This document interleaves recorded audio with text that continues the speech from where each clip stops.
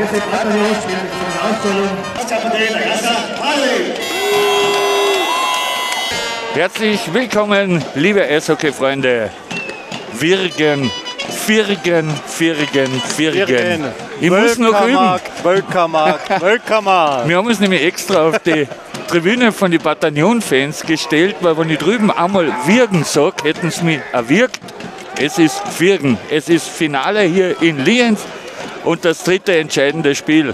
Aus, Herr Gasser, bitte zum Kommentatortisch. Herr Gasser, bitte zum Kommentatortisch. aus. Nach dem Spiel heute ist aus. Ob 60, 65 Minuten oder noch ein Penalty schießen. Wir wissen heute den Meister der Saison 22, 23 in der Division 2 West und Daniel Zauchner mit der 5. Aus Entlassen geht ihm wieder halbwegs. Und schauen wir mal, erste Chance, nächste Chance für die Bataillioner. Da haben alle gesagt, so leicht stellt man mir nie mehr auf. Riesenchance jetzt zur Führung. Warum spielen bei den Firgenern so viel Gassers? Einfach erklärt ist das. Ich glaube mal, ein- da die Führung! Für die Hausherren, für die Wölfe aus Firgen. Super gemacht. Damit hat jetzt der Jürgen Lesacher nicht gerettet, gerechnet. Torschütze die Nummer 87, Kevin Holzer. Ja, der ist da durchgegangen und versenkt jetzt den Kobold hier im Batailloner Tor. Ja, sieben Gegentore erhalten. Und aufgepasst. Und was für ein Hammer da von der Nummer 11 direkt übernommen. Der Viergener, vielleicht sogar na sicher. Aber wie knapp der daneben war. Unglaublich. Köttern also Meister in der Unterliga. Ja, Wahnsinn Chance wieder jetzt auch vom, vom Bataillon. Gegenzug. Und Aber- sicher gehalten. Und schon wieder im Angriffsdrittel. Guter Schuss. Jetzt sind am Floh drinnen gerade, weil. Tor! Ah, wunderschön. Nächster Treffer. Wieder Kevin Holzer. Schnell gespieltes Bulli nach hinten und gleich abgezogen und genau getroffen. Sehr gut. 2 zu 0. Und da wird es ein Fairberg geben, ist ja auch der Erste in der Scorerliste dieser Liga. Heute ist seine Tore 13 und 14 bei 7 Assists, also Wahnsinn. Ein Tormann und der Tormann konnte nicht fixieren, aber jetzt wieder Jetzt Daniel. Zauchner! Und der trifft da! Daniel Zauchner! Vierter Treffer in den letzten zwei Spielen. 4 Minuten 33 vor dem Ende. Daniel Zauchner 1 auf 0 und lässt ab Matthias Berger keine Chance. War Schöner. Alleingang! Wow. Jetzt aber Pulli gewonnen, was wir ja auch thematisiert haben. Lukas Fritsch. Das haben wir eben das letzte Mal bei Camp Powerplay gesehen. Nicht einmal bei 5 gegen 3, da ist die Scheibe frei. Und der Treffer! Und der zählt! Ja, jetzt hat den Leser nur auf dem, auf dem Schoner bekommen und nicht festmachen können. Und der Puck ist weiter drüben in einer gefährlichen Zone liegen geblieben und dann haben sie ihn errennt.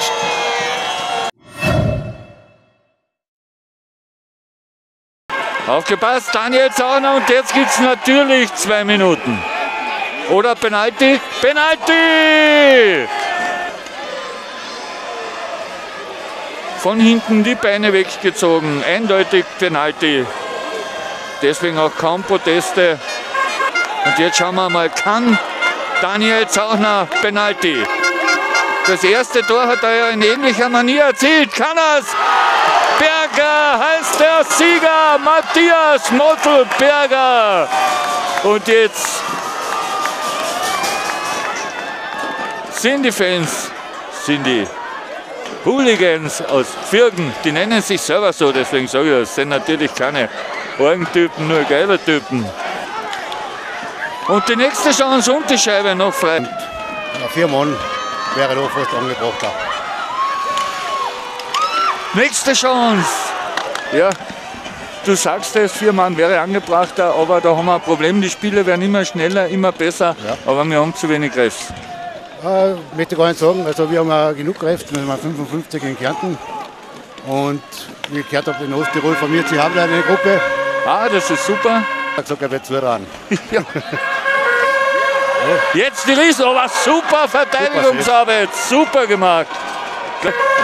Aber beide Spiele gehen noch und Riesenchance jetzt wieder für die Tigers und dann geht schnell auf die andere Seite. Nächste Chance für die Hausherren und knapp drüber. Super gemacht, schöner Haken. Und der Schuss abgefälscht und knapp vorbei. Ich glaube, er wird schießen. Ja. Boah, da hätte es jetzt klingeln können, aber jetzt ist er drinnen. Das war vom Goal eine, gell? Jetzt ist er drinnen. Zuerst die super Chance für Stefan Gasser. Und ich glaube, dann war es schon wieder. Der Kevin Holzer, drittes, na, nicht der Kevin Holzer, war die Nummer 83. Manuel Gasser, zweites Tor heute. Wo die Ferlacher von 0 zu 3 auf 4 zu 3. Da! Was für ein Hammer! Ja, bist du deppert! Das war wichtig für die Spannung im Spiel. Ich glaube, das war der Christoph Untermoser. Nächste Strafe gegen Viergen. Nächste Strafe gegen Viergen angezeigt. Und war tolle Abwehr mit dem Schoner.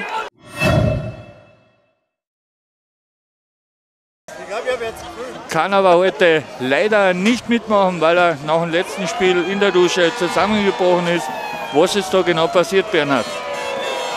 Ja, servus einmal alle miteinander daheim. Äh, alle, die was zuschauen, danke. Äh, ja, es war im ersten Drittel haben wir da auf der blauen Linie ein bisschen einen unglücklichen Check gekriegt. Und ja, mir ist schon auf dem Eis nicht ganz gut gegangen, aber es, die Schmerzen haben nachher ja, eigentlich gepasst und irgendwie können weiterspielen. War eigentlich nicht so tragisch. Äh, ja, nach dem Spiel nachher, ja, wenn ich kalt geworden bin, ja, hat schon teuflisch Umfang weh zu tun und ja, es war leider nicht so, ja, leider nicht gut. Haben wir leider die, die Nieren ein bisschen geprellt und haben müssen ins Krankenhaus und oh, ja, bis heint stationär aufgenommen und ja, Gott sei Dank hat es nicht weitergefallen. Aufgepasst, aber Ja, ja, ja. der Matthias Berger, der hat ja überhaupt nichts dafür können fürs 0 zu 4, aber der ist äh, extrem stark. Er hat da Überform, er ist momentan einmal gewaltig gut drauf. Ja, ja haben wir schon, aber. Oh, oh. Fehler. Aber. Aber die Fanghand von Matthias Berger. Marco Und- Gasser. und oh, Marco Tor, und Gasser Tor! und der Treffer. Jawohl, wunderbar. 5 zu 2, Marco Gasser. Könnte jetzt schon eine kleine Vorentscheidung sein. Wichtiges Tor für uns, wichtiges Tor. Und das Supertor. Wunderschön gemacht. Und Da haben wir ihn super aussteigen lassen. Perfekt. Aber wir haben im zweiten Drittel gesehen, da habt ihr ein Tor geschossen und dann sind sie ein bisschen leichtsinnig geworden. Ja, da müssen wir aufpassen, das geht schnell. So, der Keller ist fertig. Der Keller ist Können wir ausgebaut. ausschalten. Jetzt können wir ausschauen. Jetzt gehen wir weiter zur Einrichtung. Und jetzt der Kevin, jetzt taucht er unten. Kevin Holzer, schon zwei Tore hat er schon erzielt. Kevin Holzer, ist das die endgültige Oh, den hat er Entscheidung? gekriegt. Nein! Wieder der Holzer Kevin. Wieder Kevin Holzer und wieder mit dem Schoner. Ah, Aufgepasst! das ist ja gut. Big Safe. Super. Der Konter läuft schon wieder. schon wieder. Sandro Gasser wird zwar gestoppt, aber weiter. Die Viergener. Oh, das war die Stange. die Stange. Die, Oh, die. Latte, glaube ich sogar. Jetzt kommt 6-2. Was sehen? Oh, und wieder die Stange. Wieder die Stange. Aber ist noch nicht vorbei. Ist noch nicht vorbei. Aufgepasst, die nächste Und der Chance. Holzer Kevin. Und macht's der Kevin. Kevin allein zu Hause. Ja! Ja, da ist er. Und das, das, war die Vorentscheidung. endgültig die Entscheidung. Drittes Tor. Das war, und die Kappen fliegen schon wieder rein. Kevin. Holzer. Da fliegen die Kappen herein. Das ist Tradition bei euch. Ja, ja. Oh, Aufgepasst. Riesenchance. Und dann, oh, Matthias, wunderbar.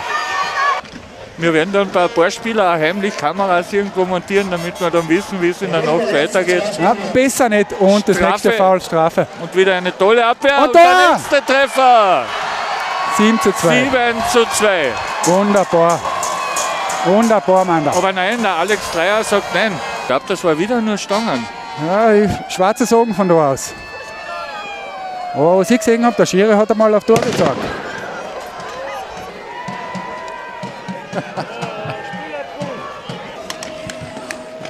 Die letzten 10 Sekunden in der Meisterschaft der Division 2 West. Noch ein Schuss von Marco Gasser. Und Gisnis, die wunderbar. Bürgerer, die Wölfe sind Meister und die entlassen die jetzt Ja, zu jetzt werden wir zu der Mannschaft Danke. Bernhard. Danke. Wir sehen uns eh noch einmal. Danke auch für die Übertragung. Gern. Macht es gut.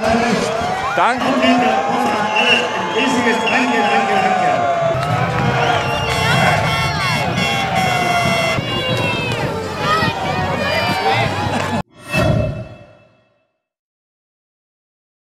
Herzliche Gratulation, unglaubliche Leistung von deiner Mannschaft. Deine ersten Gefühle. Momentan, ja, fast nichts los. Ein Wahnsinn, ein Wahnsinn. Wir haben gekämpft heute, so wie wir es gewohnt sind. Von der ersten Minute bis auf die letzte. Das letzte Spiel in, in, in Spital, das war kein Spiel von EC Fürgen. Das ist ein Spiel von EC Fürgen, wie es heute war. Den ganzen Winter waren wir an der Tabellenspitze. Traumhaft, einfach halber vordran und aussieht und super Semifinale gespielt. Auch, auch super Ding heute und das ist einfach ja. Momentan sprachlos. Der Captain von euch hat ja mitkommentiert im letzten Drittel. Und der hat gesagt, wird ein bisschen länger dauern, die Feier. Wie lange glaubst du? Ja, ich denke, das, das, das kann Sonntag auch noch werden. Ja, ist ein Traum mit so einer Fans. Kannst eigentlich gleich mal gewinnen und nach dem 4-0 natürlich haben wir schon einmal gemisst, schlucken, wie wir heimgekommen sind, aber jetzt sind wir stärker hintergekommen. Habt ihr heute auch ein bisschen für euren Kapitän gespielt? Der hat das letzte Drittel mit mir mitkommentiert. Ja, Vollgas von unserem Kapitän, der ist in alle Spiele dabei gewesen und leider die Verletzung jetzt, aber siehst du, er ist trotz allem noch da. Er ist erst heim vom Krankenhaus heim. Natürlich, nur Depperte, dafür bin ich ja da. Matthias Berger, du hast schon im Spital super gespielt, habt 4-0 verloren. Heute wieder super gespielt, heute klar gewonnen. Was sagst du zu der Steigerung von der Mannschaft? Ja, das, was wir unter der Woche gesagt haben, was wir umsetzen sollen, hat heute hingehaut, gewaltig. Wir haben es da getroffen, Chancen verwertet, bis zuletzt gekämpft und zum Schluss noch einmal verdient, noch einmal ein paar Tore gemacht. Hätten sogar noch mehr sein können. An welcher Schrauben habt ihr gedraht? Auf einmal ist Powerplay gegangen, weil ganz ehrlich, im Spital war das nicht zum Anschauen. Ja, keine Ahnung. Ich kann ich da nicht sagen, ich weiß nicht. An was wir gedreht haben, an was war eine Schraube. Aber jedenfalls an der richtigen. Ja, es hat mir ganz viele Wege getan, heute draußen zu stehen. Aber die Gesundheit geht vor. Das nutzt einfach nichts. Das ist ja so. Aber die Männer haben heute gewaltig gekämpft. Schon die ganze Saison. Wir haben zusammengehalten. Und das ist wichtiger. Gratuliere nochmal. Und danke nochmal an die gewaltigen Fans. Danke. Letzte Frage: Titelverteidigung nächstes Jahr? Ja, auf alle Fälle. Starten wir nochmal durch. Dann sind wir wieder dabei. Danke, Bernhard. Alles Gute. Wie gesagt, äh, heute haben wir wieder ein Freitagsspiel. Das ist uns immer gelungen eigentlich. Wir sind zwar nicht vollzählig, wir haben mehr gebissen. Und heute ist es uns aufgegangen. Ganz ehrlich, euer Powerplay im Spital war ja nicht zum Anschauen. Warum hat das heute auf einmal wieder geklappt? Ja, wir haben gestern im Prägraten getrainiert und speziell auf Powerplay. Du hast heute drei Tore geschossen, wird jetzt auch drei, Tore, äh, drei Tage gefeiert. Ja, fix. Ja, es ist, es ist im Sport manchmal so, es ist, gehört dazu, wenn du musst verlieren, du musst verlieren können. Es ist, es ist, ja, es, keine Ahnung, was ich sagen soll. Gratulation an Wirgen, die waren heute super kompakt, defensiv, Tormann, unglaubliche Leistung. Wir haben alles probiert, aber ist nicht gegangen, mehr ist nicht gegangen. Was sagst du zur Stimmung da in Lienz? Ist das nicht unglaublich? Ja, äh, ich habe das erste Mal da in Lienz gespielt und ich habe schon gehört von, von Erzählungen, dass die Fans von Wirgen und die Fans von Bataillon äh, ein Wahnsinn sind. Und wenn die aufeinandertreffen, ich bin aus der Kabine außer zum Aufwärmen, ich habe gedacht, ich bin, im, ich bin im falschen Film. Ich habe ganz laut gehabt am ganzen Körper und das macht, das macht einen Tag für mich und den Sport generell so speziell. Ja, wir haben einen Schwung aus Spital nicht mitgenommen. Waren wir gleich mal 2-0 hinten, dann sind wir wieder dazugekommen. Im zweiten Drittel haben wir leider die Chancen nicht genutzt, Penalty vergeben. Und ja, müssen wir wirken, muss man ganz klar gratulieren. Die haben eine super Saison gespielt. Sie waren die Erste im Grunddurchgang. Sie haben gegen uns zweimal gewonnen im Finale und gratuliere. Ja, so wie du schon richtig sagst, ich glaube, Wirgen war von Anfang an aggressiver, giftiger, hat den Weg zum Tor mehr gesucht, ist defensiv besser gestanden. Wir haben zwar viele Torschüsse gehabt, aber viel zu wenig Verkehr vor dem Tor äh, zusammengebracht, haben den Goalie selten die Sicht nehmen können. Und wenn wir es genommen haben, hat es unglaublich gehalten.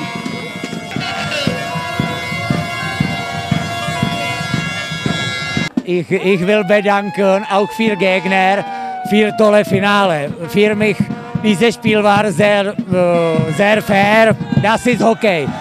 Und zweite Sache, ich will bedanken für ganze unsere Mannschaft äh, für ganze Saison. Tolle Leistung, super Einsatz und auch äh, ich will bedanken für unseren Verein und auch für unsere Fans.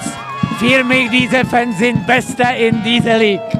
Ich fahre so gerne auf an Hostirol. Das ist auch so eine Stimmung und die Fans sowas von fair. Die haben beide Mannschaften wirklich unterstützt und jetzt auch bei der Siegerehrung. Da gibt es kein Theater beim Aufstellen oder beim, beim äh, Klatschen für, die, für, die, für den Zweitplatzierten. Also echt super, super, wie sie das machen.